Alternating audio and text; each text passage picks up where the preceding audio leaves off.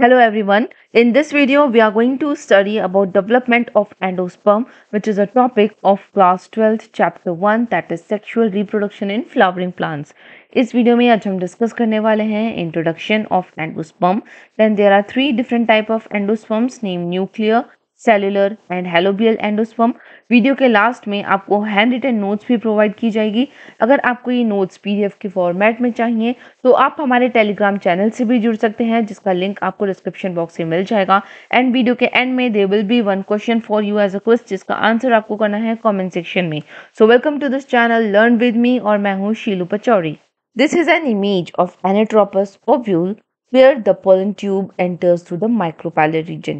Pollen tube contains two male gametes जिसमें से एक मेल गैमेट जाकर एक्सेल के साथ फ्यूज होता है and another male gamete fuses with the polar nuclei of the central cell तो ये जो सेकेंड मेल गैमेट और पोलर न्यूक्लियाई का फ्यूजन होगा that is called triple fusion which is shown here in this image where the second male gamete, which is haploid in nature, fuses with the polar nuclei. Polar nuclei diploid होते हैं so haploid और diploid जब fuse होंगे that result into the formation of triploid structure जिसे कहा जाता है P M C that is primary endosperm mother cell और it is also known as PEN that is primary endosperm nucleus तो PEN triploid होंगे. Now, this PEN will divide mitotically to give rise to the mass of nutritive cell that is called endosperm, और endosperm यहाँ पर triploid होते हैं. So the main function of endosperm is to nourish the developing embryo. So the formation of endosperm starts prior to the formation of embryo.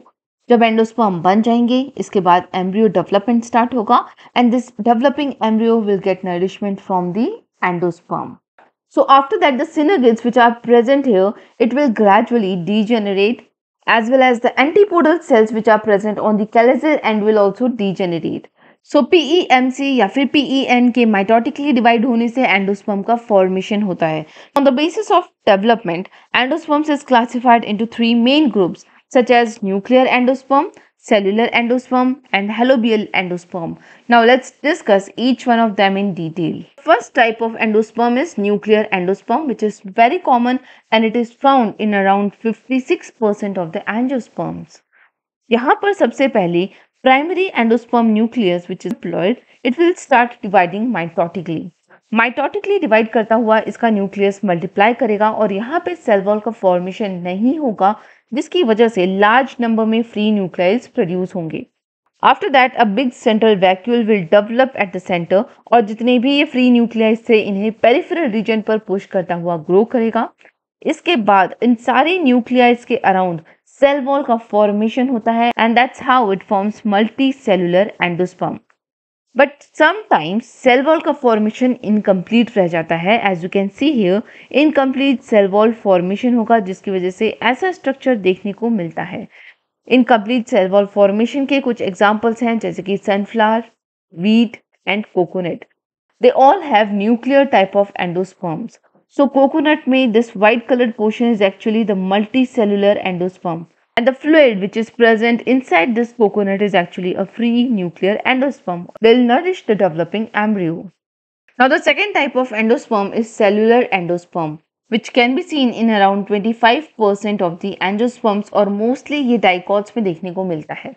यहाँ पर primary endosperm nucleus mitotically divide करेंगे और जितनी बार सेल डिवाइड करेगा immediately it will be followed by this cell wall formation तो यहाँ पर बिगनिंग से ही एंडोस्पर्म सेल्यूलर होंगे. That's why the name is given cellular endosperm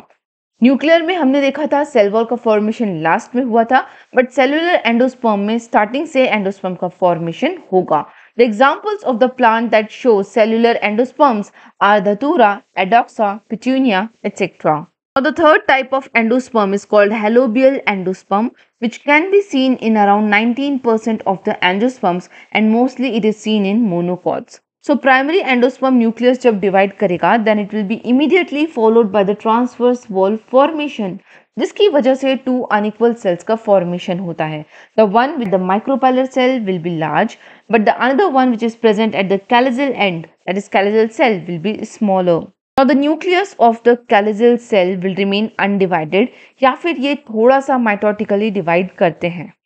while जो माइक्रोपाइलर न्यूक्लियस होंगे they will divide by the free nuclear division और इनके बाद यहाँ पर सेंटीपिटल सेल वॉल फॉर्मेशन होगा सो माइक्रोपाइलर एंड की तरफ़ जो डिविजन्स होंगे that will be similar to the cellular endosperms whereas callagel cells will be similar to the development of nuclear endosperm. तो यहाँ पर आप देख सकते हैं it is a intermediate between the cellular and nuclear type of endosperms and it is known as helobial endosperm example की बात करें तो Asphodelus is a plant that shows helobial type of endosperm and now this is a hand written notes of post fertilization event जहाँ पर हमने endosperm development की बात करी है। ये नोट्स अगर आपको पीडीएफ के फॉर्मेट में चाहिए तो आप हमारे टेलीग्राम चैनल से जुड़ सकते हैं। जिसका लिंक आपको डिस्क्रिप्शन बॉक्स से मिल जाएगा। And now it's a question time so the question is in onions the total number of chromosomes are 32 so what will be the number of chromosomes of its endosperm मैं आपको hint देती हूँ endosperms are triploid in nature अगर आपको video अच्छी लगी हो तो इसे लाइक शेयर ज़रूर करिएगा। सब्सक्राइब करना मत भूलिएगा ताकि आने वाली वीडियोस आपको यूँ ही मिलती रहें। तब तक के लिए बाय बाय टेक केयर